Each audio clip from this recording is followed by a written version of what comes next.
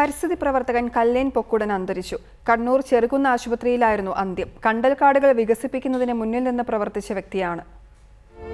അപരിചിതമായ ഒരു മേഖലയെ വേരൂന്നിയുറപ്പിച്ച് ആർക്കും അവഗണിക്കാൻ പറ്റാത്ത രീതിയിൽ അതിനെ വളർത്തിയതാണ് കല്ലേൽ പൊക്കുടനെ പ്രശസ്തനാക്കിയത്. ഒരു കാറ്റേറ്റാൽ തളർന്നു വീഴുന്ന പുരനാല് ചുറ്റും കണ്ടൽക്കാടുകൾ വെച്ചുപിടിപ്പിച്ചതായിരുന്നു ആ ഉദ്യമം.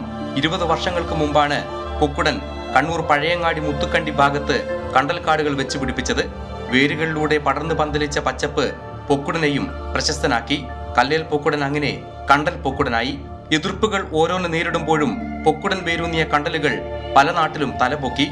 അതിനൊപ്പം സാധാരണക്കാരിൽ സാധാരണക്കാരനായ ഈ ദളിത് ജീവിതം ആദരിക്കപ്പെട്ടു.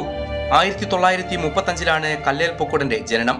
സമര കാഹളങ്ങൾക്കിടയിലും ഒന്നും അറിയാതെ കൃഷിയോടൊപ്പം ചേർന്ന ജീവിതം. യൗവനത്തിലേക്ക് കടന്നതോടെ ദളിത് കമ്മ്യൂണിസ്റ്റ് മുന്നേറ്റങ്ങൾക്കൊപ്പം പൊക്കുടൻ ചേർന്നു. പരിസ്ഥിതി ജനാധിപത്യ പോരാട്ടങ്ങളിൽ മുന്നിട്ടിറങ്ങി. ഈ ദളിത് ജീവിതം പരിസ്ഥിതിക്കൊപ്പം മാത്രമായപ്പോൾ കമ്മ്യൂണിസത്തിൽ നിന്നും പൊക്കുടൻ വ്യതിചലിച്ചു. സി പി എം ആരംഭിച്ച കണ്ടൽ പാർക്കിനെയും അദ്ദേഹം ചോദ്യം ചെയ്തു.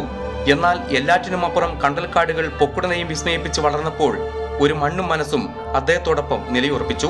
പാപ്പിലോ ബുദ്ധ എന്ന ചിത്രത്തിൽ അഭിനയിച്ച പൊക്കുടൻ കണ്ടൽക്കാടുകൾക്കിടയിലെ ജീവിതത്തെക്കുറിച്ച് പുസ്തകവും രചിച്ചു. കരൾ സംബന്ധമായ അസുഖത്തെ തുടർന്ന് അന്ത്യം സംഭവിച്ച കല്ലേൽ പൊക്കുടന്റെ ശവസംസ്കാര ചടങ്ങുകൾ നാളെ വൈകിട്ട് മൂന്ന് മണിക്ക് പഴയങ്ങാടിയിലെ വീട്ടുവളപ്പിൽ നടക്കും. റിപ്പോർട്ടർ കണ്ണൂർ.